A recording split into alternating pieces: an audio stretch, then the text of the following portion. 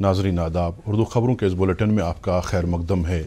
वजी अजम नरेंद्र मोदी ने कहा कि भारत तभी खुद इंसार बनेगा जब इसके किसान और देहात बाख्तियार बनेंगे। अपने महाना रेडियो प्रोग्राम मन की बात में आज अपने ख्याल का इजहार करते हुए नरेंद्र मोदी ने कहा कि ज़रूरी सेक्टर किसान और देहात आत्मनिर्भर भारत की बुनियादें हैं। उन्होंने कहा कि अब मुल्क के किसानों को बाख्तियार बनाया जा रहा है और वो अपनी पैदावार हर उस जगह फ़रोख्त कर सकते हैं जहाँ उन्हें बेहतर कीमत मिले। वज़ीर अजम ने प्रोग्राम में स्टोरी टेलिंग पर भी बात की और कहा कि यह भारतीय कल्चर का हमेशा से हिस्सा रहा है।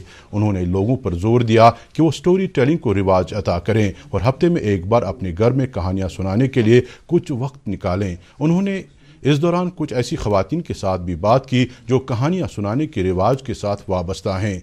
वजी अजम ने मुजाहिद आज़ादी भगत सिंह के कल मनाए जाने वाले योम पैदाश के हवाले से बात करते हुए कहा कि भगत सिंह, शुजात और बहादुरी का मुजस्मा थे। और बरतानवी हुकूमत तेईस साल के इस नौजवान से खौफजदा थी।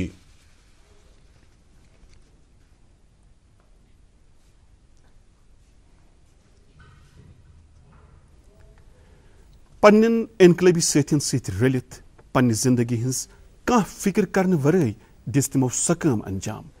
यमुक मुल्क आज़ादी सठा अहम रोल शहीद वीर भगत सिंह ने ज़िंदगी हूँ अख खूबसूरत पहलू यह जे तम टीम वर्कस सठा अहमियत दिवान लाला राजपत राय कुन तिहुंद समर्पण या चंद्रशेखर आज़ाद सुखदेव राजगुरुवस सान तमाम इनकलबियन से तिहुंद रिश्त तिहंद खतर जह तती वकारस कह अहमियत तिम योत्ताम जिंद रूद तिम रूद अकि मिशन बापत जिंद तो अमी बापत दिख कुर्बानी सह मिशन भारत नाइंसाफी तो अंग्रेज़ हुकूमत नश आज़ाद कर।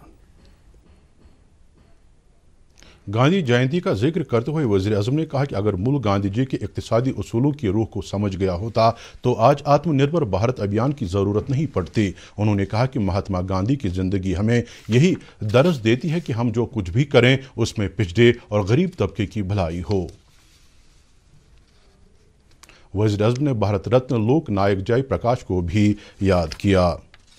वजी अजम नरेंद्र मोदी ने कहा कि अकवा मुतहदा में असलाहत का अमल मुकम्मल करने की अजहद ज़रूरत है। कल अकवा मुतहदा जनरल असम्बली के पचहत्तरवें इजलास से खिताब करते हुए वजी अजम ने कहा कि उन्नीस सौ पैंतालीस में जब अकवा मुतहदा की बुनियाद डाली गई, तब के और आज के मामला में ज़मीन व आसमान का फ़र्क है। इसलिए वक्त का तकाजा है कि इस अहम इदारे की पॉलिसियों में वक्त हाजिर के मुताबिक असलाहत लाई जाएँ। उन्होंने कहा कि यह बात दुरुस्त है कि तीसरी आलमी जंग नहीं हुई है, लेकिन इस बात से भी किसी को इनकार नहीं कि दहशत गर्दी के कितने ही हमलों ने पूरी दुनिया को दहला के रख दिया और इन हमलों की वजह से मुताद लोगों को अपनी जानों से हाथ धोना पड़ा और बड़ी तादाद में लोग बेघर भी हुए।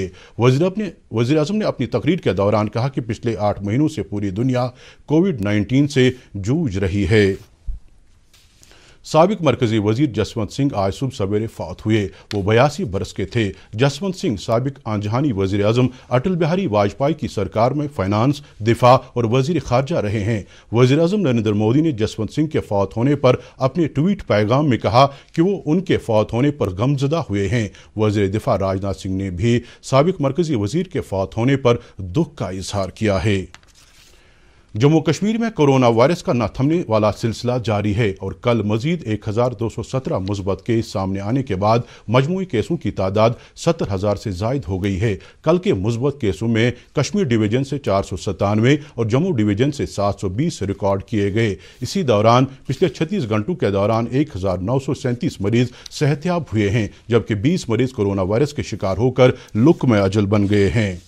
सेहत और तिबी तालीम के फाइनेंशियल कमीशन अतुल डल्लू ने गवर्नमेंट मेडिकल कॉलेज जम्मू का दौरा करके isolation ward, oxygen supply plant और कंट्रोल रूम का मुआयना किया। मौसूफ ने कोविड नाइन्टीन के पेश नज़र मरीजों को दस्तियाब, तबी सहूलियात का जायजा लिया। बाद में उन्होंने अस्पताल इंतजामिया के सीनियर अफसरान की एक मीटिंग में भी तलब की।